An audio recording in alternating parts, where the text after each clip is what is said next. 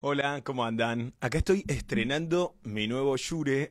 No, no, estoy como un chico al que le regalaron un juguete, pero en este caso me lo regalé yo mismo. Acá estoy, mira. Este que lo ven en todos los streamings, que lo ven en todos los... Bueno, es el Yure que se está usando mucho en Estados Unidos y en México. Miren, se los voy a mostrar. No sé si a alguien le interesa, pero a mí me parece este, copado porque lo descubrí de grande. Mira. Este micrófono Yure tiene. Vamos a sacar esto, a quitar esto, mientras bancamos que se vayan sumando. ¿Ven? Es un micrófono unidireccional. Eso quiere decir que toma directamente en una, en una única dirección. ¿Ven? No es omnidireccional como, como los micrófonos condenser. Ah, no tengo ninguna hora para mostrarles porque lo cambié. Pero el omnidireccional toma en todas las direcciones. Bueno, este es unidireccional y permite, ¿cómo andan chicos? ¿Todo bien? Me acabo de levantar hace un rato, por eso la cara de dormido. Permite esto, ¿no? Que no te tape la cara el micrófono, porque los micrófonos condenser, como te tienen que pegar de frente, te tapan la cara. Y para todo lo que es imagen ahora, que en definitiva terminó siendo un nuevo medio de comunicación, ¿no? Me parece que el streaming... Hola Irina, ¿cómo te va? El streaming es em, esto de el nuevo lenguaje de que se vea no es televisión, porque no es tele, pero tampoco es radio. O sea, no es radio porque el formato radio, que es el más parecido al, podcast, es audio. Entonces la idea es escuchar, eh, pero no solamente una escucha pasiva, sino una escucha activa donde tu mente pueda este, generar imágenes, ¿no? Un poco lo que pasa con la noche paranormal ah, es podría ser contraproducente que se vea el programa, que, se me vea, que se nos vea haciéndolo, porque en definitiva todo está en la mente del que está escuchando, ¿no? Dígame si se escucha bien, porque estoy estrenando este micrófono. Díganme ustedes cómo lo escuchan. Yo lo escucho perfecto. Bueno, decía, la noche paranormal necesita de la escucha y que vos seas la persona que le agrega imágenes con tu mente. Esto que parece una boludez, una pavada, es recontra importante, porque además el, el lenguaje solo de audio, por ejemplo en un podcast o por ejemplo en un programa de radio, te permite que vos estés haciendo otras cosas además, que no tengas que estar con el sentido de la vista atento a una pantalla. Por eso me gusta, pero estoy pensando de qué manera yo me adapto a, este nuevo formato de streaming. Em, con Paranormal, lo que estoy haciendo es el formato mano a mano Paranormal, que es más un formato televisivo, ¿no? Eh, de hecho, lo voy a grabar en un estudio de televisión. Pensé mucho tiempo, ahora, ahora hablo de lo de intrusos, ¿eh? Pensé mucho tiempo si Em, transformarme en un este, youtuber paranormal y empezar a generar contenido para mi canal de YouTube, así, ¿no? Hablándole a cámara. Pero después dije, lo están haciendo tan bien amigos como Magnus Mephisto, que es el número uno para mí de la región, que ¿qué voy a hacer? Lo mismo. Ya fue. Entonces pensé el formato de mano a mano paranormal. Hola Antonio, ¿cómo andas, loco? Pensé el mano a mano paranormal que es un lenguaje, si se quiere, televisivo desde la forma, o sea, lo grabo en un estudio de tele con tres cámaras, con grúa, con micrófono, con sonidista, es un programa de tele. Pero no es un programa de tele porque al no tener este tanda comercial, corte comercial, al no, al no regirse por, por las normas televisivas, yo hago lo que, lo que quiero. Eh, me muevo por el estudio, voy vengo, no importa estar mal iluminado, ¿viste? O sea, rompo un poco con, con la prolijidad que, requiere la televisión. Y le está yendo súper bien al mano a mano paranormal en, métricas real. O sea, este mes, por ejemplo, llegamos a 10 millones de reproducciones. Es un montón. Y creo que 400, ahora estábamos en 450 mil visualizaciones solo del mes. Eh, es un montón. Entonces me entusiasma mucho para seguir generando contenido de, del mano a mano paranormal. Bueno, estoy acá porque les había prometido contarles por qué me fui o por qué me voy de intrusos el viernes que viene. Primero quiero decirles gracias. Ustedes no saben, No sé, voy a tratar de, de hablarles como si estuviésemos acá tomando mate. Y de hecho, me voy a preparar un mate. Eh, perdón que tosa un poco, pero dormí mucho y dormí con la boca abierta. Estaba tan cansado ayer, cuando volví de Canal 26. Ah, ayer vuelvo a Canal 26 y estaba mi vieja, porque se vino a quedar a dormir que tenía que hacer un, un trámite hoy a la mañana. Así que me quedé hablando, tomando mate como hasta las 7 de la mañana. Creo que me fui a dormir a las 8 de la mañana. Y me levanté, me desperté hace media hora. Se me nota la cara de destrucción total. Pero es un es un cansancio este productivo, feliz. Me bañé para despabilarme un poco, ¿viste? Porque si no iba a estar hecho mierda con ustedes ahora. Bueno, me preparo el mate y les cuento.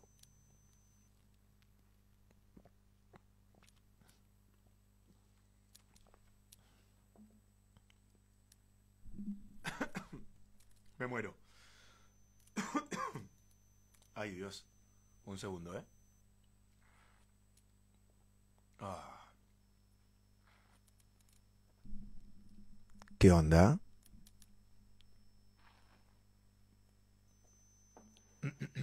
Uno más para calentar la gola. Ay, Dios mío. No se vayan, ¿eh? ¿Se puede contar que estamos en vivo? Eh, ¿Pueden compartir el vivo de Instagram? No, no. Casi me muero, Juli. Tomé muy... Se me fue un palillo. Saludos, Tucumán. Esa voz que enamora. Con mi nuevo micrófono, Shure. Shure, mandame micrófono, por favor. No se oye porque no tenés voz, eh, no tenés parlante, Negri querida. Un segundo, ¿eh? Hola Mauro Trucel, ¿cómo andás, loco? Maki Ruiz es lo más, Antonio, posta. Qué bueno conocer gente como Macarena Ruiz. Ya voy, ¿eh? Bánquenme, estamos al pedo todos, es un día horrible. No jodan, por favor. Cuando seamos 200 empiezo a hablar. ¿Qué te hace? Espera, ¿eh? Uy, estoy muy hecho mierda de la garganta. Para, ¿eh? Bueno. Ay, Dios. ¿Ustedes mezclan mate con gaseosa, por ejemplo? Yo sí.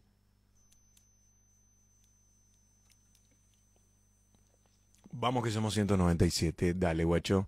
Hola, Sebastián. ¿Cómo andás? Hola, Héctor. Feliz cumpleaños, Nati. Hola, un abrazo desde Marcos Paz. ¿Cómo andamos? Hoy la noche trabajo y te voy a extrañar, porque no hay noche paranormal. Escuchame por YouTube en arroba trasnoche paranormal. Igual desde la semana que viene vamos a ir de domingo a jueves con la noche paranormal. El domingo 2 de julio empezamos. De domingo a jueves, la noche paranormal, en vivo en la pop, de 21 a 0. Los viernes voy a descansar. Voy a descansar a la noche. Igual voy a Canal 26 después, ¿no? Pero eh, vamos a ir en vivo en pop de domingo a jueves. Hola Maki Morgan, ¿cómo andás? 211 ya somos. ¡Qué locura! Es increíble cómo te gusta la Pepsi, es más rica la Coca-Cola. Para mí más rica la Pepsi, Black. Esta es la que tomo. ¿Saben por qué me compro latas?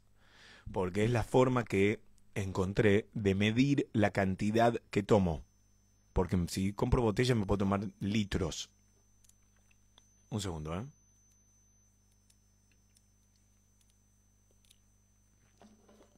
Hola, ¿cómo andan? Uh, voy a toser, perdón. Ay, Dios. Estoy muy arruinado la garganta, perdón. Bueno, vamos. ¿Por qué me voy de intrusos? Maki me preguntaba si este viernes hay radio. Este viernes ya no hay Noche Paranormal, ¿ok? Vamos de domingo a lunes, de domingo a jueves, perdón. Empezamos este lunes. Lunes, martes, miércoles, jueves. El viernes descanso, sábado descanso y ya después sí. Domingo 2 de julio, de domingo a jueves. ¿Bien? Domingo, lunes, martes, miércoles, jueves. Bueno. Esto mismo que me está pasando ahora mientras hablo con ustedes, que es, estoy muy hecho mierda de la garganta. Imagínense que yo dormí desde hoy sábado a las siete y pico de la mañana que me fui a dormir hasta casi las 4 de la tarde. Esto me pasa, me viene pasando constantemente desde el año pasado. ¿A qué me refiero? Llego al fin de semana hecho mierda, pero cuando les digo hecho mierda es hecho bosta llego. Llego con la voz arruinada. Llego cansado de una manera y miren que les quiero contar algunas cosas. Este vivo es para contar por qué me voy de intrusos, pero permítanme y permítanse manejar la ansiedad para que yo pueda desarrollar esto que no puedo contar en ninguna nota, porque, porque cuando me hacen una nota voy directamente al grano. Pero esto que es mi Instagram me quiero tomar eh, todo el tiempo del mundo, para que ustedes me conozcan un poco más, en definitiva. Ay Dios. Bueno, esto que me está pasando, que me viene pasando, me viene pasando desde diciembre del año pasado. Primero quiero decirles que yo amo lo que hago. Yo amo lo que hago, ¿ok? Pero yo lo amo de verdad. Yo amo lo que hago. ¿Y por qué amo lo que hago? Hoy tengo 44 años y medio. De hecho, estoy ya rumbo a los 45. Yo sé que no lo parezco, y no lo digo de soberbio, no lo digo de arrogante, no, no, no, no, no lo digo desde ese lugar. Ojalá que puedan recibirlo desde el lugar en el que yo lo siento. Porque como no me siento em, viejo, no me siento mal, no, no siento que la edad cronológica sea algo negativo no lo siento con los otros tampoco. Cuando veo una persona grande de 80 años, no, a mí mi mente, mi corazón no procesa, uy, qué viejo, no va por ahí. Es como a ver qué historia tiene para contarme, ¿no? O sea, para mí la el crecimiento, la, la edad cronológica solo está relacionada a, a la sabiduría, a las vivencias. Pero yo tengo 44 años y medio rumbo a los 45, y amo lo que hago. Ustedes se van a preguntar, ¿por qué amas lo que haces, Héctor? La pregunta que más me hacen es, ¿por qué trabajas tanto? Miren, me hacen dos preguntas todo el tiempo. No, me hacen tres preguntas todo el tiempo. La primera es, ¿cuándo dormís? Posta, ¿eh? Yo les muestro mis, mis redes sociales. Y la pregunta que más me hacen es, Héctor, ¿cuándo dormís? Héctor, ¿cuándo dormís? todos los días recibo no menos de 40 veces la misma pregunta. Héctor, ¿cuándo dormís? Me lo preguntan en Twitter, me lo preguntan acá en Instagram, me lo preguntan en TikTok, me lo, me lo mandan mis amigos por WhatsApp. Cuando voy por la calle y alguien me reconoce, ¿cuándo dormís? Me dicen, hola Maki Ruiz, Héctor, ¿cuándo dormís? Y yo siempre respondo lo mismo. Digo, bueno, pero cuando uno ama lo que hace, este duerme menos. Nada. Hace unos años. Ah, pará, quiero. Eh, ay, perdónenme, estoy muy desordenado. Estoy haciendo todo lo que no me gusta hacer, que es no ordenar lo que quiero decir. Pero también me estoy poniendo a prueba a los 44 años y medio de dejar de querer tener el control de todo. Ya bastante obsesivo soy para laburar en el sentido de ordenarme, armar una rutina, pensar un contenido. Así que permítanme este sábado que estoy en mi casa eh, disfrutar la espontaneidad. Miren, por ejemplo, recién hubo un comentario porque yo cada tanto miro lo que escriben acá. Web Sur dice, estás recreído. Vamos a ponerlo fijado. Acá mira. Estás recreído. Ahora sigo con, con mi relato, ¿no? Pero para que ustedes vean también lo que significa. Y capaz que te pasa, ¿no? no tal vez no te digo nada nuevo. Pero cuando uno va detrás de sus sueños y solo uno sabe qué, qué batallas libró o está librando, cuánto le costó, cada uno sabe cuánto sufrió, cada uno sabe cuánto invirtió, cada uno sabe cuántas veces le dijeron que no y así todos seguiste creyendo en vos. Cuando uno tuvo pérdidas físicas, gente que querías que se murió. Cuando, cuando uno tiene todo eso y aparecen comentarios como el de WebSur, ¿estás recreído? Voy a usar una frase eh, bien argentina. Te chupa un huevo. Los o sea, te empiezan a te empiezan a resbalar realmente este tipo de comentarios. Yo ahora lo fijé para tomarlo y utilizarlo en mi discurso, pero no porque me interese. O sea, yo aprendí de un tiempo a esta parte que directamente bloqueo. Por ejemplo, ahora WebSur lo bloqueo, porque el que está mal es él o ella que está mirando algo de alguien que cree que es un creído. También sé que no tenés que dar ninguna explicación, pero me sirve para lo que iba a decir. Esperen que lo voy a bloquear. Para... Ay, no lo puedo bloquear, que la cancha de su. Bueno, ahora cuando vuelva a escribir, porque no se la va a bancar, cuando vuelva a escribir lo bloqueamos. Igual pueden denunciarlo todos ustedes, así le cierran la cuenta. Em, cuando vos sabés todo lo que te costó, dejas de escuchar a voces X, de X personas que ni siquiera te conocen. También es verdad que hay mucha gente frustrada, lamentablemente, que, mm, que como no se animó a cumplir sus sueños, o, o anda a saber, porque también, viste, yo a mí no me gusta juzgar, pero entiendo que tiene que ver con eso. Cuando vos ves a alguien que se anima, cuando ves a alguien que mueve el avispero todo el tiempo, cuando ves a alguien que no se queda quieto, cuando vos ves a alguien que va detrás de sus sueños, hay gente a la que eso le molesta. Yo no lo puedo entender. Es como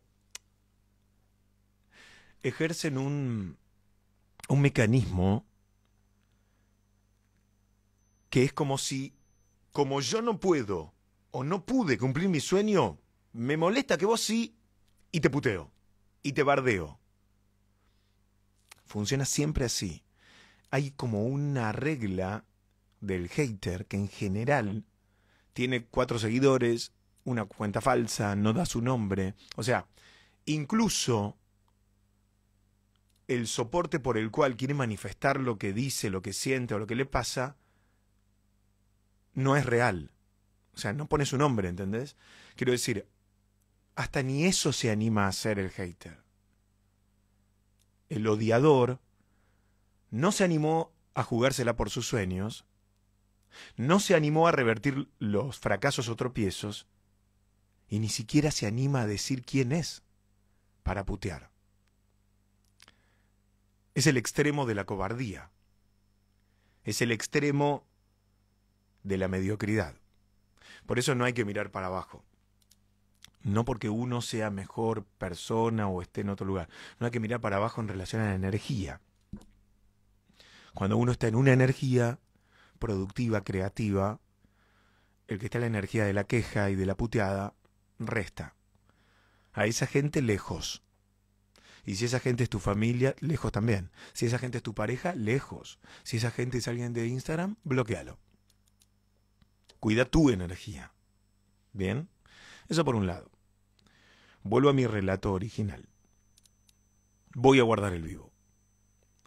Vuelvo a mi relato original. Héctor, ¿cuándo dormís?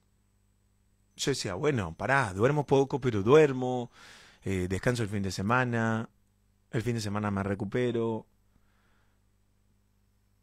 Pero me encontré, porque también siempre respondía a esto, a la segunda pregunta. Héctor, ¿por qué trabajas tanto? Y yo siempre me sorprende cuando me dicen eso. O sea, me sorprendí al principio, pues entendí que cada uno me habla desde su historia. ¿Viste? Yo pensaba, capaz que te pasa lo mismo. Yo creía que cuando, cuando alguien habla con vos, de vos, escucha la frase porque la voy a armar ahora.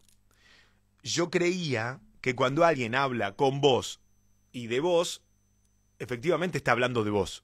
Quiero decir, si yo te digo, ponerle que te cruzo por la calle, te pongo un ejemplo, y te digo, ¿de dónde venís? Y vos me decís, vengo de la casa de mi mamá. Bueno, eh, está bien, pero tampoco que tu vieja te maneje la vida. Escuchá, ¿eh? lo que te estoy contando. Si vos no estás seguro de vos y el otro te está hablando a vos y supuestamente está hablando de vos y te tira ese comentario que no tiene nada que ver con vos, vos te tenés que dar cuenta que el otro te está hablando de él. En vos está depositando su historia. Entonces vos tenés que frenar, porque si vos respondés a esa falsa afirmación que no tiene nada que ver con vos y sí mucho tiene que ver con el que te la está haciendo, si vos respondés desde vos defendiéndote de eso o tratando de convencer al otro que, mirá, no, mi vieja no me maneja la vida, cagaste, perdiste, mordiste un anzuelo, sin querer, el otro no te lo hace a propósito, ¿eh? mordiste un anzuelo y en realidad le estás respondiendo sobre su historia, no sobre la tuya. A mí me costó darme cuenta de eso al principio, pero después lo recontra descubrí y lo aprovecho ahora. Ahora lo aprovecho en las entrevistas, por ejemplo. Miren, sigo con el relato, no me voy a perder, pero cuando me toca entrevistar a alguien, yo uso ese recurso. Le digo al otro, ¿cómo andamos? ¿Cómo estás? ¿Todo bien? Y lo espero. Espero que el entrevistado me empiece a hablar y me diga algo. Trato de no condicionarlo con la pregunta a una respuesta específica le hago preguntas ambiguas y abiertas. Porque el otro, en la pregunta ambigua y abierta, te va a empezar a contar algo que si vos estás atento, tirás del hilo y ahí viene la historia. ¿Entendés? Porque siempre hablamos de nosotros. Volviendo a esto de cuando el otro habla con vos, vos crees que está hablando de vos, pero está hablando de él o de ella. A mí me pasaba todo el tiempo esto de, Héctor, ¿por qué trabajas tanto? Y yo al principio respondía, no, lo que pasa es que, bueno, eh, no trabajo tanto porque eh, yo amo lo que hago, ¿viste? Yo daba este, esa respuesta. Voy a tomar.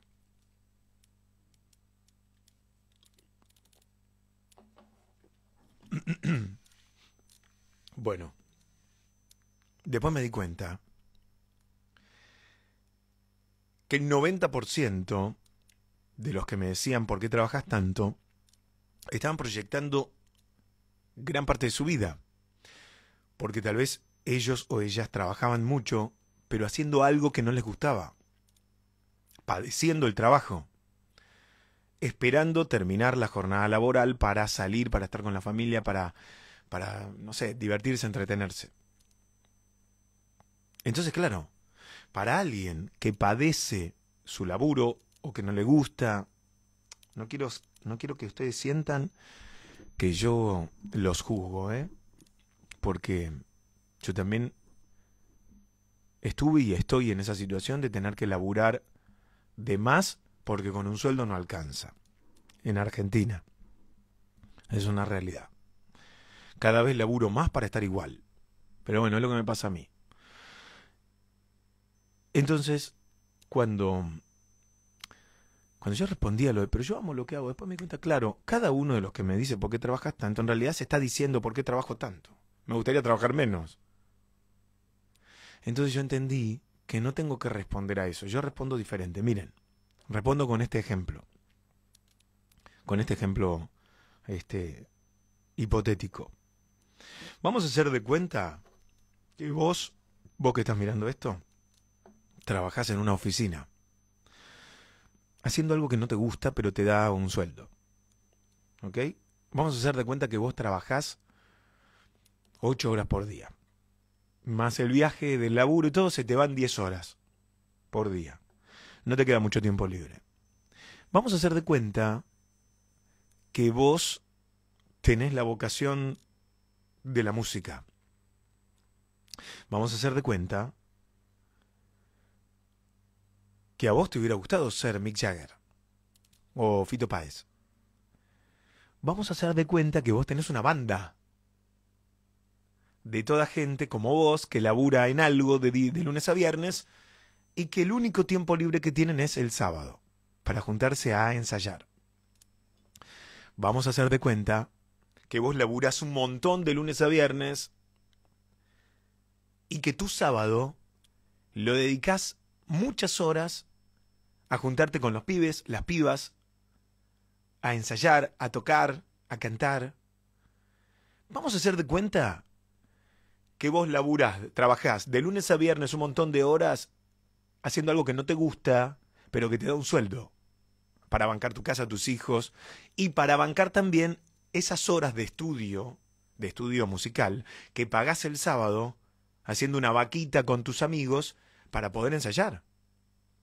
Vamos a hacer de cuenta que vos trabajás un montón en la semana haciendo algo que no te gusta y que con el sueldo te compras los instrumentos para tocar el sábado como hobby, digo yo, ¿no? Capaz que tocas en un pub, pero quiero decir, no es algo masivo. No le estoy quitando mérito, ¿eh? Porque para vos es tu pasión y tu vocación. ¿Ok?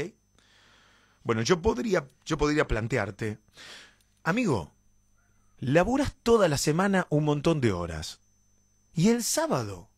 En lugar de estar al aire libre, te encerras en un estudio a tocar la guitarra. Vos me vas a contestar, bueno, pero pará, Héctor. Yo toda la, toda, la semana estoy trabajando, pero para tener un sueldo. Es mi, laburo fijo, tengo tantos años de antigüedad. Tengo hijos, bla, bla, bla. Pero el sábado yo hago lo que amo. Yo me junto con mis... Yo, a mí me da vida sin juntarme seis horas a tocar la guitarra. Bueno, yo te respondería, yo toco la guitarra todos los días y me pagan. Yo no tengo otro hobby yo no tengo otro, no tengo un hobby, no mi hobby es este. yo no, no me apasiona nada más que lo que hago. No me apasiona nada más que ponerme un auricular, a hablarle a un micrófono, a hablarle a una cámara, contar una historia. Yo hago esto y es mi hobby, mi vocación, mi profesión, mi laburo, es mi todo. A mí esto me da años de vida, porque aprendo, porque para hacer este laburo que tengo y que amo tengo que leer, porque leo cosas que me interesan, porque pude construir mi carrera solito, solo, porque nadie me regaló nada, porque no tuve ningún padrino y ni madrina artística. En mi familia nadie se dedicó a esto, mi papá era mecánico y mi mamá laburó siempre de empleada. Porque yo de chiquito, miren, yo tengo 44 años. Y mm, cuando era chico, me acuerdo que miraba la tele, una tele que tuve tele blanco y negro y tuve tele color. Pero la tele color tenía pasa canal. Tac, tac, tac. Era una perilla, era una perilla, Era cualquier cosa. Perdón la gente joven. No había control remoto, querido. No existía el control remoto. Tenías que pararte a mover una palanca para poner el canal que querías ver. Clac, clac, clac. Y había cuatro canales o cinco. Los que tomaba la antena. La antena era este, una antena de aluminio en el techo. Bueno, bla. Que les voy a contar si lo vivieron. Algunos de ustedes. Está bajando el rating, loco. ¿eh? Después lo dejo colgado igual. Bueno, perdónenme, no tengo ritmo para de tele ni de radio. Es un vivo esto. El que, el que no lo quiere ver se puede ir y no pasa nada. No, no le va a cambiar la vida. Lo que yo estoy diciendo. Olvídate. No le va a cambiar la vida a nadie. Yo miraba en la tele Carlitos Balá. El show de Carlitos Balá, Canal 7. El mundo de Antonio Gasalla miraba. Con Funky de Charlie García. ta, ta, ta, se van para atrás. Me acuerdo de los personajes de Gasalla. Me acuerdo que me recontra gustaba ese programa. Yo era chico. ¿eh? Y miraba imagen de radio, Juan Alberto Badía, y miraba, ¿cómo se llamaba? Badía y compañía, los sábados a esta hora. Badía me encantaba. yo miraba a Badía, yo era chico, ¿eh? vuelvo a década del 80, yo nací en el 79, tendría siete años, ponele. Yo miraba y decía, este chabón. ¿Qué tal? Bienvenidos, en buena compañía. Yo veía eso y decía, loco, es magnético este tipo, o sea, este chabón tiene algo de magia. Lo miraba a Badía, ¿no? ¿Se acuerdan de Badía? Una buena tarde en buena compañía. A mí me gustaba lo que él hacía con la voz. Yo decía, ¿cómo hace para que le preste tanta atención? Porque me daba no entendía qué hacía, pero me daba cuenta que las pausas eran perfectas, ¿viste? Miraba un programa que era un programa supuestamente de radio, pero que salía por televisión. Lo conducía Luisa Delfino. Se llamaba Te Escucho. El programa iba, creo, si no me acuerdo mal, los viernes a la noche, después de la medianoche, por Canal 7. Era un estudio de radio que estaba buenísimo, porque para mí era como, loco, mira eso. La mina sentada con el micrófono, con los auriculares. También era raro ver a alguien en televisión con estos auriculares grandes, ¿viste? Y ella no miraba cámara. Perdón, estoy mal de la garganta. Ahora vuelvo a, a por qué estoy mal de la garganta. Y por qué dejo intrusos. Chabón hace un vivo de dos horas y no dice por qué dije intrusos.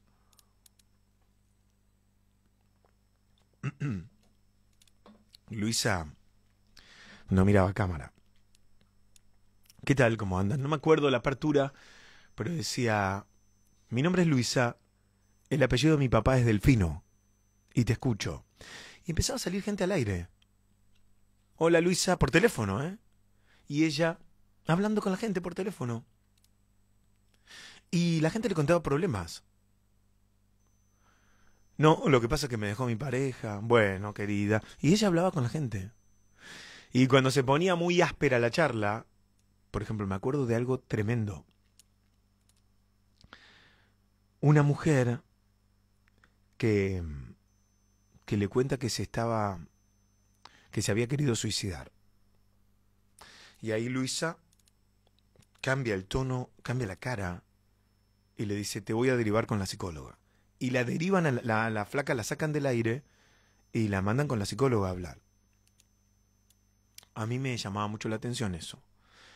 Después crecí un poco más y ya en los 90, obviamente vi a Tinelli en el video match de la medianoche, pero mi adolescencia estuvo marcada por la radio. En mi casa familiar, en Floresta, no había un mango. Estábamos cagados de hambre. Mi mamá no trabajaba.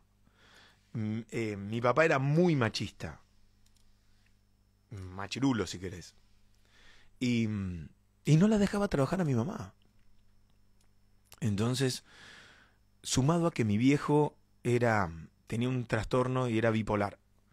Y tenía seis meses de, de mucha energía y seis meses que estaba hecho mierda y no trabajaba.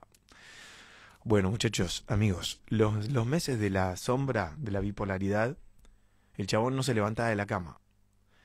No teníamos para comer. O sea, era como, nos cortaron la luz, nos cortaron el gas. Mm, teníamos que comer arroz, tipo, o sea, no, no había plata. Yo tenía 12 años, ponele. Eh, mi mamá habló mucho en la escuela para que me becaran. Gracias a mi vieja pude cursar en San Ramón, que me dieron una beca, porque no podíamos pagar la cuota. Em, y yo de todas esas cosas me daba cuenta. Era un chico, pero me daba cuenta que algo estaba mal, que no, no podía ser así. O sea, bañarte con agua fría en invierno es horrible. Eh, pero no teníamos gas. Entonces, me acuerdo que mi mamá empezó a laburar. Porque no quedaba otra. Y, y empezó a trabajar. Y mi vieja empezó a pagar deudas. Y pudo comprar un... Ay, no me acuerdo cómo se llama. No era un calefón, era como un coso eléctrico. ¿Será calefón eléctrico? Estoy diciendo cualquier cosa. Era como un... dispositivo de chapa que se ponía arriba de la ducha y se enchufaba. Entonces vos lo cargabas de agua fría, esa cosa calentaba el agua con, el, con electricidad y te bañabas con agua caliente, pero tipo tres gotitas caían, te tenías que bañar a los chapas. Y después volver a calentar porque se baña el otro. Y sé lo que es tener una garrafa, eh, cocinar con garrafa. Bueno, acá no estamos para dar lástima. Todo eso yo lo viví. Entonces, les cuento esto, porque como también muchas veces nos cortaban la luz, no podía ver tele.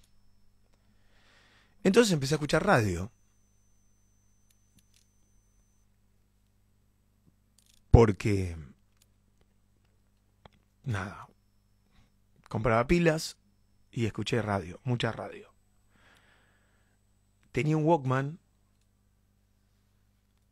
¿Se acuerdan lo que era un Walkman? Eh, tenía un Walkman. Me emociona un poco, pero para que lo estoy recuperando. El Walkman era una cajita a la que le ponías un cassette, play, rebobinado. ¿Se acuerdan de eso? Los auriculares eran vincha, como estos, pero más chiquitos, con una esponjita. Y tenía radio. Me acuerdo los, los primeros cassettes. Eh, creo que el de Queen me regaló mi mamá. Me parece que me había regalado un grandes éxitos de Queen. Que tenía Rapsodia de Bohemia. Ese tema después me acompañó muchas veces en la vida. Pero vamos a lo importante, escuchaba radio. Escuchaba radio, escuchaba mucha radio. Salía al patio de mi casa escuchando radio, eh, me iba a correr, a mí siempre me gustó salir a correr. Yo vivía en Tapalqué y Medina, en Tapalqué entre Medina y Ameguino, y, y me iba al Parque Avellaneda. Y me, me, iba a correr, me ponía el Walkman, me ponía la radio para no gastar pilas. No era de miserable, era que no había guita. Había que hacer durar todo mucho. Y me iba a, correr y escuché mucha radio. Escuchaba me acuerdo de esto, mira. Trataba de levantarme, les estoy hablando mi adolescencia, 13, 14 años. Eh, empecé a escuchar a Pergolini. ¿En cuál es? Qué buen programa. Qué buen programa. Los cuentos del osito mimosito, me acuerdo. Después de grande me enteré que quién hacía las voces y todo eso. Eh, bueno, Pergolini para mí es un genio. Pergolini me recontra acompañó. Después la vida me permitió poder decírselo. Encontrarlo, cruzarme con él y decírselo. Pero me recuerdo de la voz de Pergolini. ¿cómo andan? Me acuerdo de esto. Era como, era espectacular escucharlo del chabón. Porque era, era el distinto Pergolini. Era diferente Pergolini. Eh, este chabón, decía yo. Acuérdate, yo venía de, de admirar a Badía, Luisa Delfino, esa gente que era como más seria, más prolija. Y Mario hacía todo lo que se suponía que no había que hacer. Ah, ¿Cómo andas? ¿Todo bien? ¿Cómo arrancaste? Eso me parecía... Es espectacular, decía este chabón. Está hablando de otras cosas. ¿Entendés? Me sale igual, ¿vieron? Eh, porque lo escuché tanto que me lo recontra acuerdo. No, no, no nada. Mario, el tipo de acá. Era como un chabón criticón, rebelde. Bueno, todo lo que a mí me gustaba. Decía, este chabón es un genio, loco. Fui creciendo y empecé a escuchar otro tipo de radio. Pero siempre en la adolescencia. ¿eh? Escuchaba la mañana Pergolini, después a la noche escuchaba AM. ¿Qué escuchaba? Para, déjame acordar. Escuché Dolina. Escuché. Me, escuchaba, me gustaba mucho Alejandro Apo contando cuentos. Em, escuchaba mucho rock and pop por, por Mario y también admiraba mucho a, a la voz de rock and pop, a Nagui. Alejandro Nagui. Rock and pop. ¿Se acuerdan la voz de rock and pop? yo decía, ay. Acordate que está hablando el Héctor de 14 años, ¿eh? de 13 años. No este. Imagínate un chico de 13 años corriendo en el Parque Avellaneda escuchando Pergolini. Me acuerdo que me quedaba como dos horas después de correr, sentado en el sol del Parque Avellaneda, escuchando el programa, porque terminaba a la una. Y yo quería escucharlo todo. Porque no quería volver a mi casa. Eh, entonces me, me hice amigo de Pergolini, en mi mente. en mi mente yo era amigo de Mario, era mi compañero de todas las mañanas. Les avanzo un par de años y ya año 90 y... A ver, 96 terminé la escuela secundaria, empecé a escuchar para se los quiero contar cronológicamente. Terminé la escuela secundaria. Che, y todavía no conté lo de intrusos. Chabón iba a hacer un vivo para hablar de algo, está hablando de cualquier otra cosa. Pero no, tiene todo que ver con todo. Vamos con otro hater, mirá, mirá. Se los fijo para que lo vean. Salí del closet de Rossi. No sé si se refiere al término anacrónico, machirulo, violento, desubicado de exponer a una persona que no quiere contar su elección sexual a obligarla a que la cuente. Si este muchacho, Dyke Andrés, no, estás en otro lugar, amiguito. Hasta la frase no tiene nada que ver. Pero bueno, está bueno verlo. Vuelvo al relato. 96 terminé el colegio secundario. Tenía 17 años. Mi casa era un quilombo. No voy a dar detalles para no invadir la intimidad de mis hermanas y de mi, y de mi mamá. Pero imagínense que era un bardo atómico. Eh, apenas terminé el colegio secundario, eh, creo que en el último año de la secundaria, empecé a escuchar a Cristian Palacios. Cristian Palacios a mí me mostró, y obviamente a Fernando Peña, a ellos dos. Estoy desordenado en el relato. Creo que primero descubrí... Ay, no me acuerdo. Por ejemplo, Fernando Peña ya era conocido, pero más en el under de la radio, creo creo que Lalo Mir lo llevaba, no llevaba a la radio, no me acuerdo bien esa parte porque ahí yo no lo escuché a Peña. Yo empecé a escuchar a Peña en Metro, como un par de años más adelante. Pero primero descubrí a Cristian Palacios, el cachorro Palacios. Cristian era un fenómeno, pero no por imitaciones y eso, por su manera de, de conducir.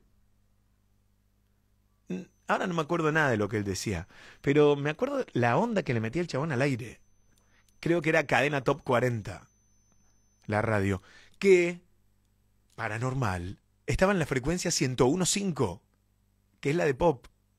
La frecuencia 101.5 de FM de la República Argentina la tenía cadena top 40. ¿No les parece muy loco eso? A mí sí. Bueno, Cristian Palacios. Cristian Palacios, después me enteré que él operaba el programa también, no había un operador, él operaba, que iba, iba con una corneta al aire. Vamos amigos, arrancaba bailando, hacía cualquier cosa el chabón y me encantaba, me encantaba. Y lo empecé a escuchar a Cristian.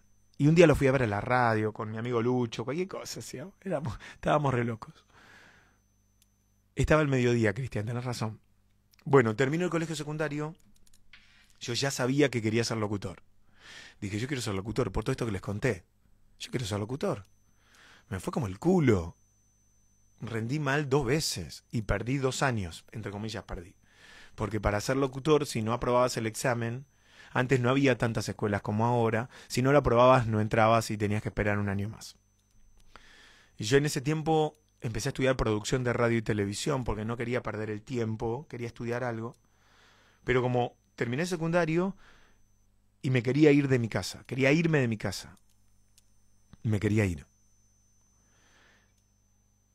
Y lo hice. Me fui de mi casa muy joven. Mm, empecé a laburar en un supermercado, en Coto, como cadete. Y, y alquilé un monoambiente y me fui a mi casa. para esa época en la que ya vivía solo, laburaba en el supermercado, estudiaba producción de radio, escuchaba mucha radio. Escuchaba Cadena Top 40, escuchaba eh, Energy, escuché a Pato Galván, por eso me gustan las historias de terror también. Escuchaba rock and pop, escuchaba Pergolini, escuchaba a M también, escuchaba fútbol, no porque me gustara el fútbol, sino porque me gustaba la locución comercial. Ya probaste el chiquito, ahora prueba el grandote, alfajor grandote, doble y triple sabor. Yo decía, esto es espectacular. Después lo hice. eh, ¿Qué les iba a contar? Para. Creo que por ahí descubrí, ya más cerquita del año 98, descubrí a Peña. Y dije, no, es espectacular este chabón. Fernando Peña. Obviamente también escuchaba a La Negra, pero Peña decía, este tipo es magia. Y me volví fan de Peña. También lo pude conocer después. Bueno, les adelanto la película. Entré al ISER, entré a los dos institutos que había en ese momento. COSAL e ISER, no había otros, ahora hay muchos, pero en ese momento había dos nada más, en Buenos Aires. COSAL e ISER mi el Héctor del pasado dijo, me anoto en los dos. En alguno voy a entrar. Rendí en el COSAL, entré al COSAL y empecé a cursar en el COSAL con Dalia Goodman, que fue compa mía, con Nicolás Paolini y bueno, con otros. Al mes rindo en el ISER y entré al ISER. Entonces dije, entré a los dos. Imagínense lo que significaba, ¿entendés? O sea, entraban 60 alumnos, se postulaban 5.000 por año. O sea, de 5.000 personas quedaban 60. Ya entrar era un montón. Ya entrar era un logro. Entrar era... Ya lo logré. De hecho, me acuerdo la sensación que tuve cuando vi mi, mi nombre y la palabra aprobado en el ISER. Y dije, ya está. Voy a ser locutor porque ahora era solamente cursar la carrera y recibirse, pero ya estaba. Me di cuenta que no había imposibles en la vida. Ya estaba. Me pasé al ISER, empecé a cursar en el ISER. Toda mi cursada fue espectacular. Los tres años fueron espectaculares. Pero espectaculares allá arriba. ¿Me bancan que voy a buscar algo más para tomar? Ahí vengo. No se vayan, por favor, ¿eh? No se vayan. Ya vuelvo, guachos. Banquen, ¿eh?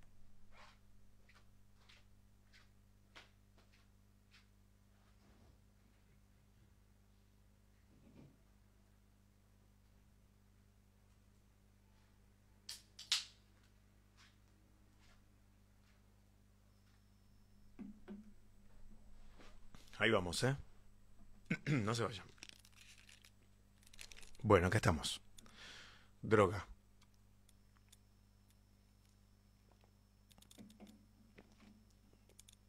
Mi segunda lata del día, loco.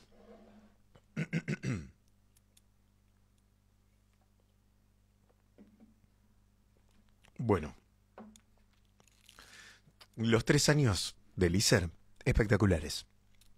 Espectaculares por donde lo mires, los amigos que hice, las vivencias que tuve, eh, las novias que tuve. Bueno, todo fue buenísimo.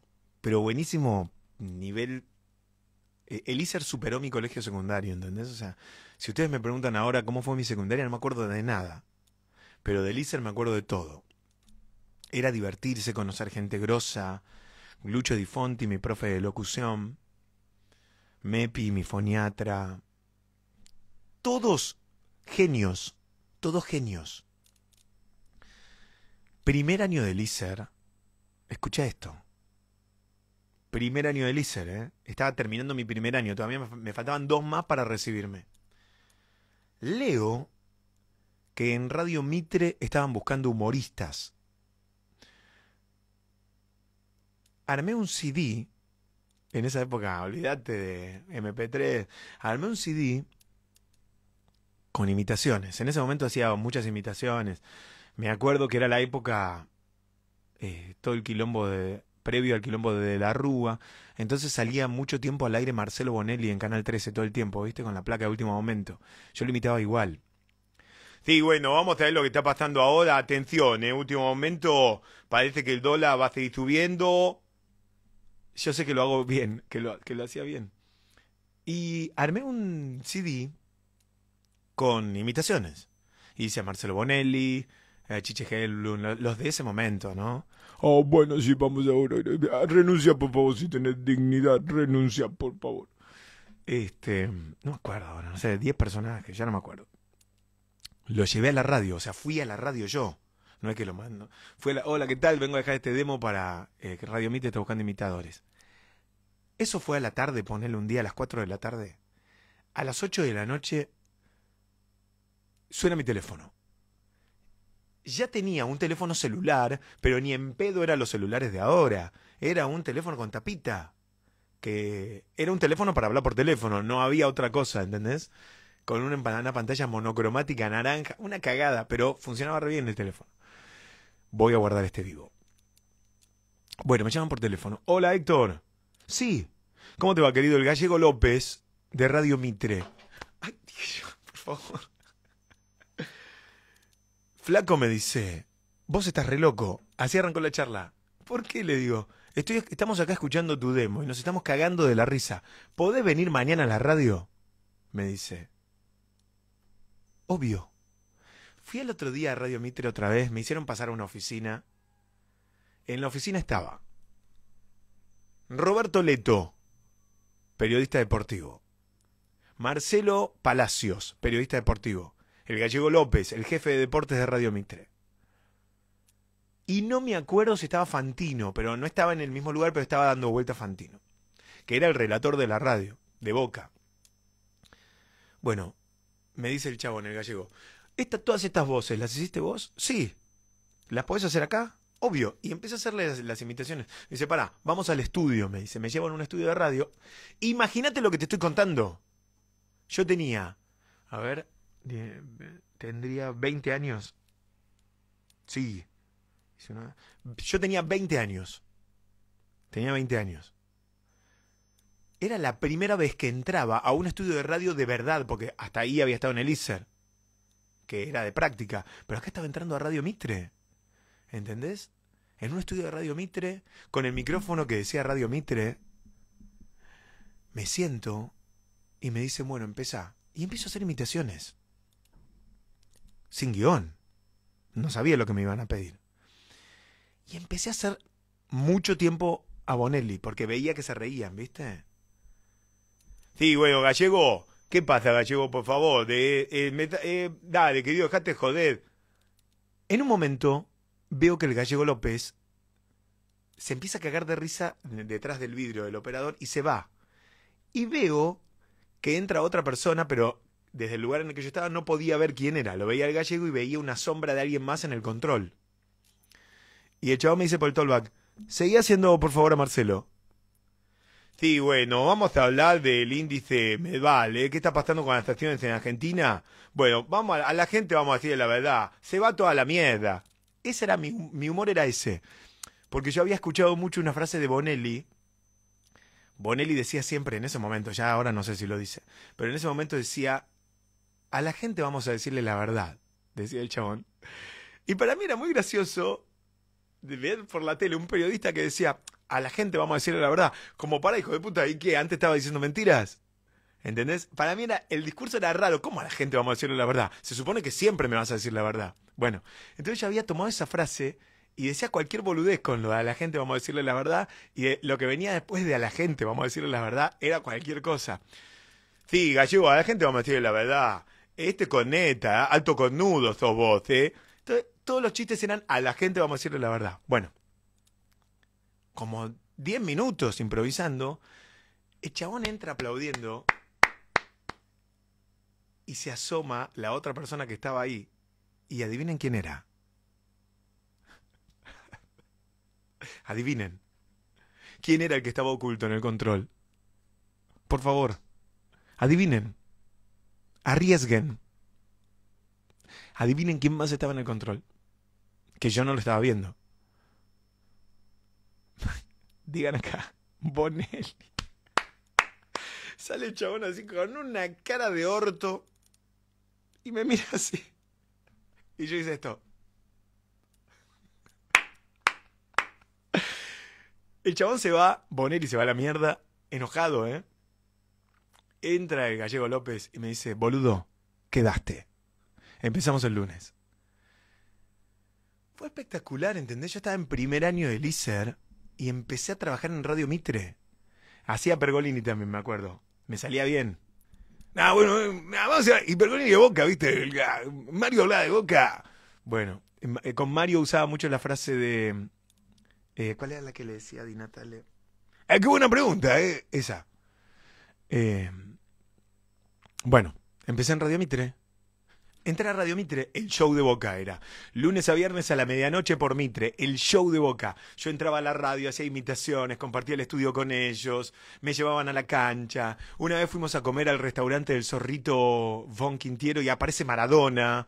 O sea, no tengo fotos, siempre cuento lo mismo. Porque llega Diego y mm, soy Coppola. Llega Diego, estaba Elton John, llega Diego Maradona y lo primero que dice Maradona es...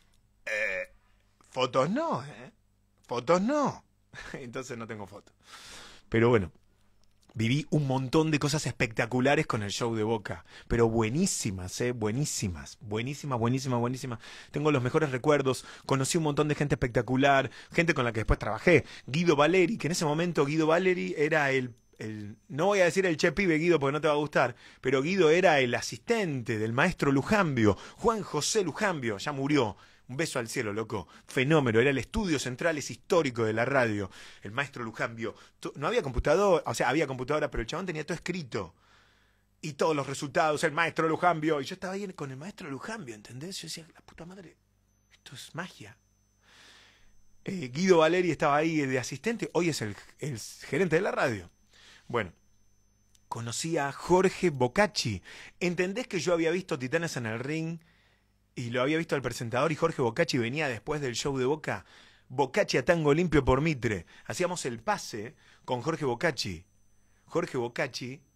¿Qué tal? ¿Cómo andan? Bienvenidos a Bocacci a tango limpio. El chiste que hacíamos con Jorge era que siempre venía con todos los muertos, Bocacci. Venía con el obituario, ¿viste? Y arrancaba el programa en seco. En seco quiere decir sin música. Terminaba, por ejemplo, el show de Boca con música, con el baile de la gambeta, creo que era la cortina este, de Bersuit. Bueno, terminaba el show de Boca. Ya me desperté, vieron que me cambió la cara desde el principio del vivo. Ahora estoy pila y me volvió la voz. Pero era, había que calentar un poquito la gola. Ahora cuento por qué me voy de intrusos, ¿eh? Ahora lo cuento, esperen. Pero todo esto hace a la decisión.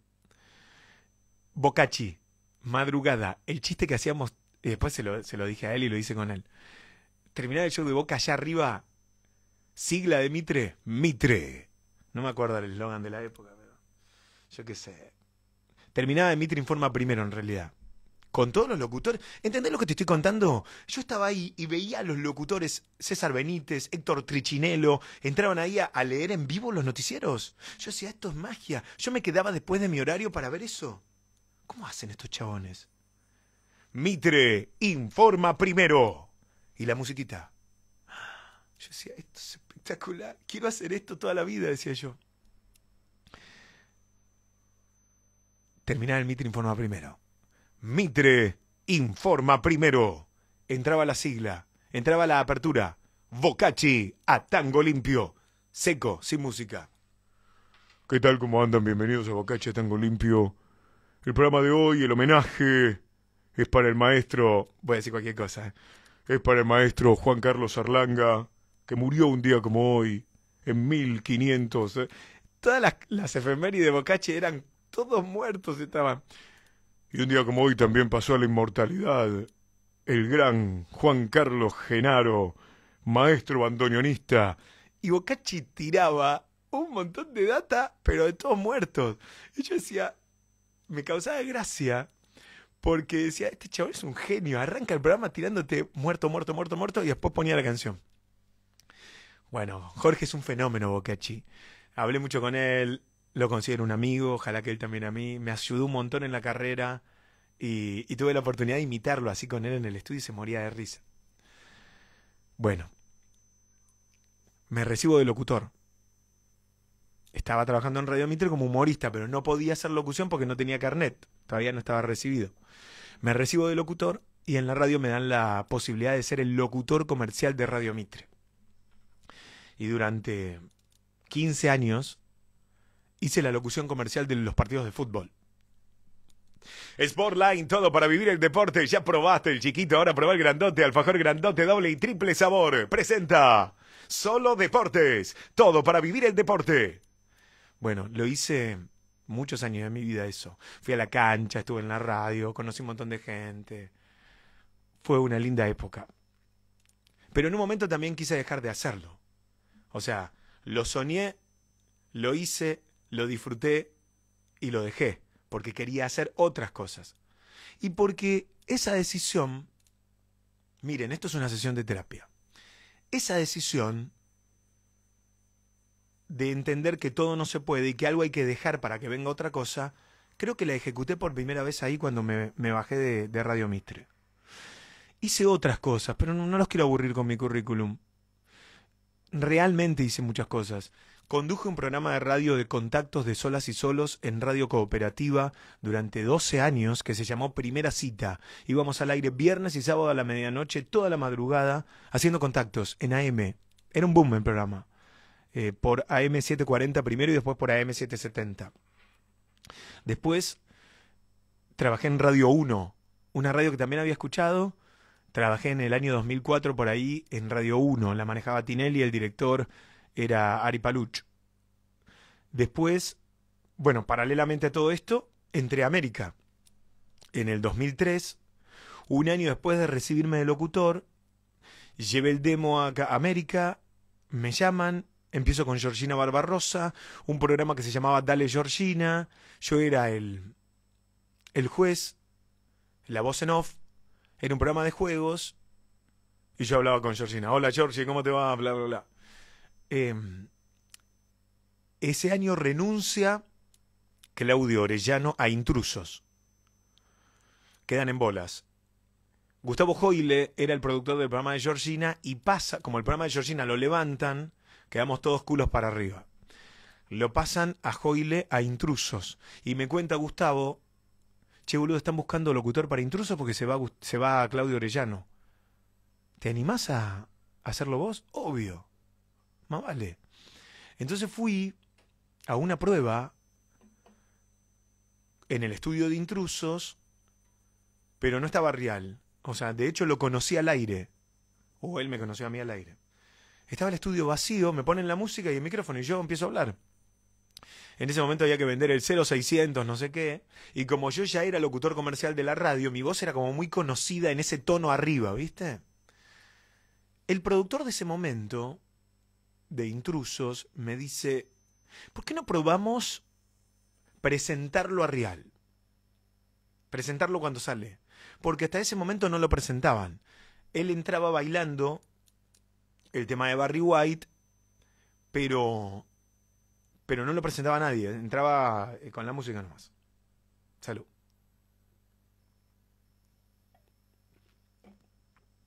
Che, cinco y media cierro el vivo porque me tengo que ir. Y después le cuento los intrusos, si no me alcanza hoy lo contaré otro día. En la prueba, el, en la prueba esta que me toman, el productor me dice, ¿cómo te imaginas presentarlo? Y yo digo, A ver. Le dije al chabón esto. Le digo, yo me imagino esto, le digo. ¿Viste las peleas de box, de boxeo en Las Vegas? Donde el locutor estira todas las palabras. Ladies and gentlemen. Haces, ¿Viste que hace eso? Le digo, ¿por qué no lo hacemos acá? Entonces yo empiezo. No me acuerdo ahora lo que dije, pero probé. Señoras y señores, con ustedes, el número uno. Hice eso, estirando todas las palabras. Bueno, en el estudio con la música y con todo, queda espectacular. El chabón me mira y me dice, sí, lo vamos a presentar así. Empieza el programa. Lo presento así yo a Real. No me acuerdo ahora lo que dije, pero yo qué sé. Arranca el verdadero programa de espectáculos. El número uno. Me acuerdo que dije esto, que le encantó a Real. El showman de América, Jorge Río. Yo hacía eso. Que era como una. Para mí en mi mente, yo era el presentador de Las Vegas. Y Real era el boxeador más grosso. Yo imaginaba eso cuando lo presentaba. Entonces, yo lo vi al chabón que le encantó, le veía la cara que él se creía espectacular, ¿entendés? Yo lo dejaba allá arriba. Y él salía bailando y le, vamos, Héctor, y bla, bla, bla.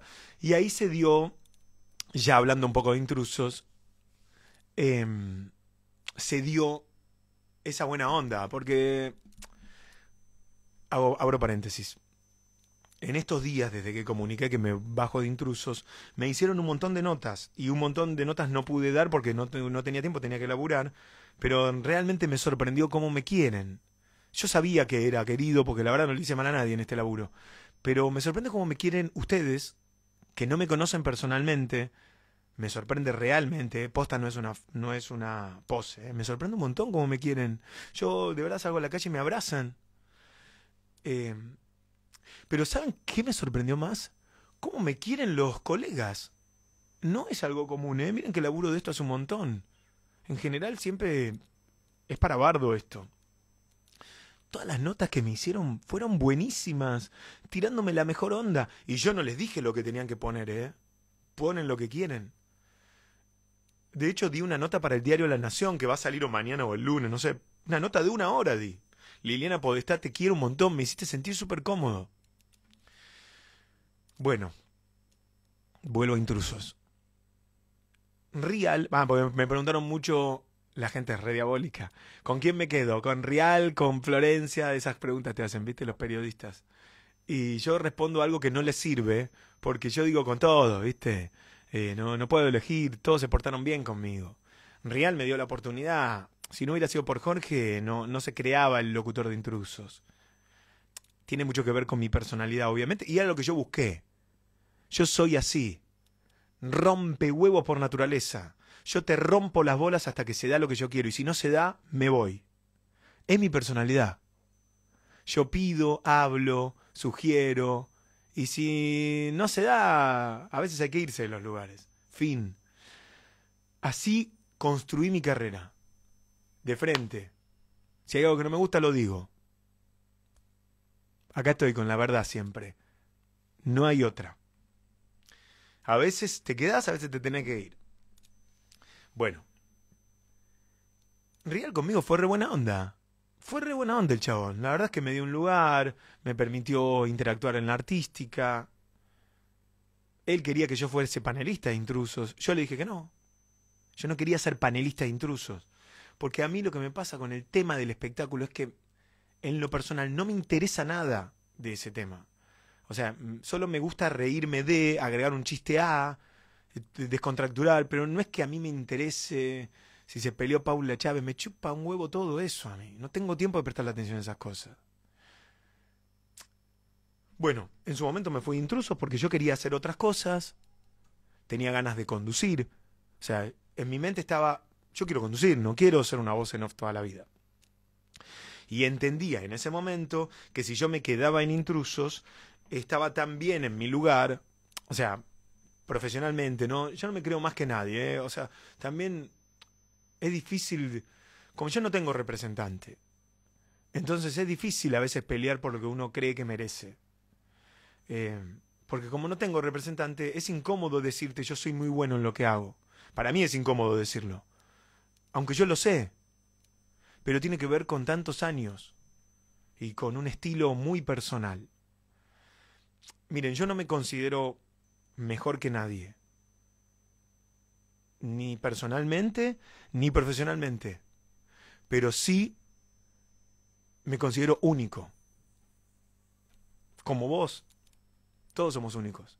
Y como yo le meto mucho de la esencia a los laburos, em, se termina imponiendo la personalidad. Bueno, en su, en su momento yo quería conducir. Dije, bueno, no. Ya estaba haciendo la noche paranormal en pop, ya estaba haciendo otras cosas, ¿no? Pero digo, no, no, si me quedo acá como locutor en off, voy a morir siendo el mejor locutor en off. no quiero eso. Quiero conducir y sentí que no eran compatibles los dos laburos. O me quedaban intrusos o me iba. Y, y salía a buscar lo mío. Que nadie me aseguraba que me lo dieran, ¿eh? Era salir a que, y que Dios me ayude. Y Dios me ayudó. me fui intrusos, hice mil cosas. Eh, laburé en tele como panelista en Confrontados. Conduje en Crónica, conduje en A24. Estoy en Canal 26 hace un montón de años ya. Em, la Pop, La Noche Paranormal, es el programa más escuchado de la noche. Hice mil cosas más, ahora ni me acuerdo, pero hice un montón de cosas. Hice doblaje, fui a México, grabé publicidad, hice 40 cosas. El año pasado, después de, de Lucich Payares, Intrusos, cuando ellos se bajan, Intrusos queda como acéfalo. La convocan a Florencia, la mejor decisión para mí. A mí me pasaba que yo quería trabajar con Flor de la B. De hecho, le había escrito muchas veces. Quería trabajar con ella, me parecía graciosa, divertida, diferente, espontánea, inteligente. Bueno, yo fui a América. Ah, estuvo Serfoglio en Intrusos en esa época, no, no me olvidé, lo nombro, ¿eh? Estuvo Serfoglio en esa época. Pero a mí me pasó algo particular. Todo el tiempo que estuvo Serfoglio, la gente me decía, ¿cuándo volvés a Intrusos? También es incómodo yo decirlo porque eso puede generar que a Fabián le parezca que yo me la creo o que este tipo que se cree, si estoy yo en, ese rol. Pero tampoco les quiero mentir a ustedes. A mí me pasaba eso. Yo salía a la calle y me decían, boludo, ¿cuándo volvés a intrusos? Como si estuviesen esperando la vuelta. Todo el tiempo, ¿eh? Es mi historia, a mí me pasó eso, no sé. Bueno, se baja a foglio. Entonces yo sabía que volvía a intrusos. Yo lo sabía. Yo sabía que me iban a llamar.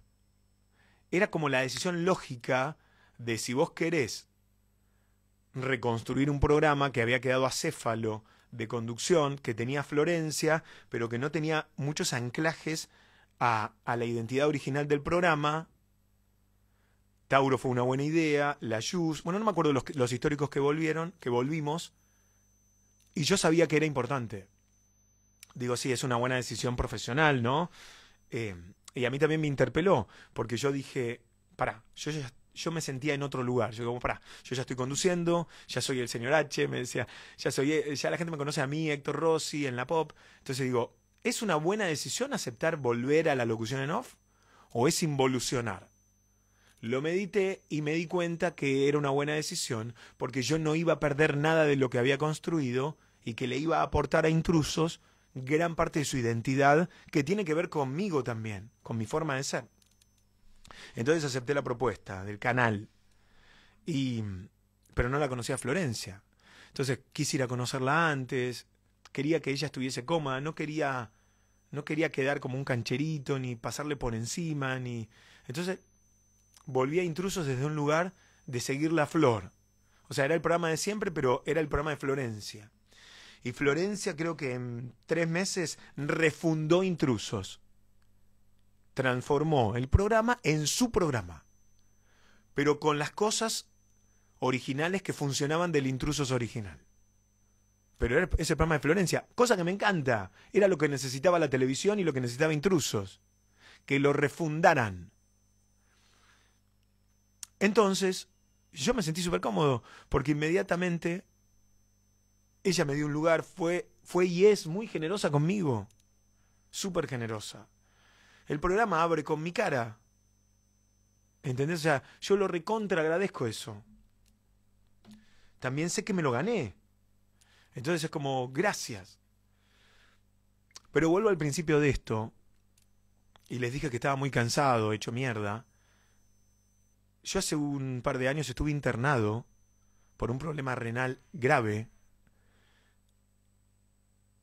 Estuve a punto de la diálisis.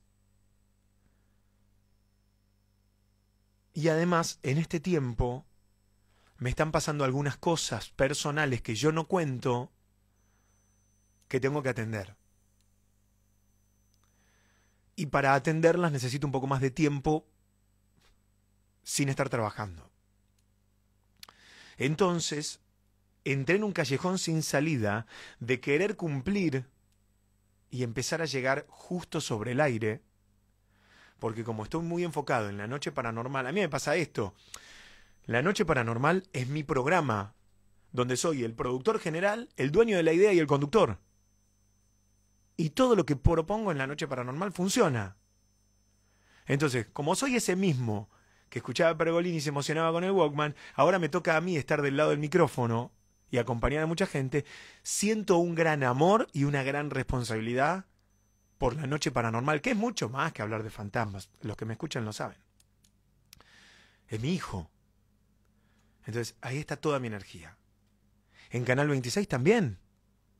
Trasnoche 26 es nuestro programa con Silly Rama. Tiene mucho que ver con mi esencia de Trasnoche 26. Yo le agradezco a Federico Bisuti, es el gerente del canal, que me dijo, Héctor, sé vos al aire. Con tu forma, con tu manera. ¿En qué, dónde, ¿Sabes que no pasa eso en los medios? En general en los medios te dicen lo que tenés que hacer, te tenés, sentate acá, tu, tu, la idea es esta. Yo tengo la libertad total de hacer mi programa con mi estilo, con mi manera, interactuar, decir, preguntar. Eso no se paga con nada. Porque yo además soy muy noctámbulo. Yo soy el mismo que escuchaba a Luisa Delfino en Te Escucho. Entonces para mí hacer tele a la trasnoche es lo mejor que me puede pasar. Porque yo sé quiénes están del otro lado. Y qué necesita el que está del otro lado. En la radio y en la tele. Y me viene yendo cada vez mejor, porque creo que estamos conectados nosotros. Yo nunca me la creí, solamente saco mi ego cuando tengo que negociar la guita. Porque como no tengo representante, no puedo permitir que si yo creo que valgo dos, me paguen uno. Te tengo que decir, mira, yo valgo dos, loco. Todo bien. Pero después, siempre me van a ver con buena onda a mí. Yo no, no soy un chabón quilombero, problemático. Yo resuelvo fácil. Soy muy desapegado. Entonces, intrusos también en mi casa, lo amo, pero se dieron un par de cambios con el tema del horario que ya me matan, porque yo duermo, estoy durmiendo cinco horas por día a la noche. Ya es poco. Y ya estoy llegando justo al aire todos los días. Llego justo. O sea, llego, agarro el micrófono y empiezo el programa. No me gusta estar tan justo. Porque estoy siempre nervioso manejando, porque tengo multas, porque me mandé cagadas manejando por llegar al horario y entendí que no, para, estoy haciendo cagada. No puedo ir más de la velocidad. Si la velocidad es 50, tengo que ir a 50, loco. Soy un profesional de esto, no tengo que dar el ejemplo. Entonces dije, no. No. No puedo estar nervioso, no puedo estar eh, siempre llegando con los huevos en la garganta, el programa. No, no, no, no quiero eso. Ahora le cambian el horario, va más temprano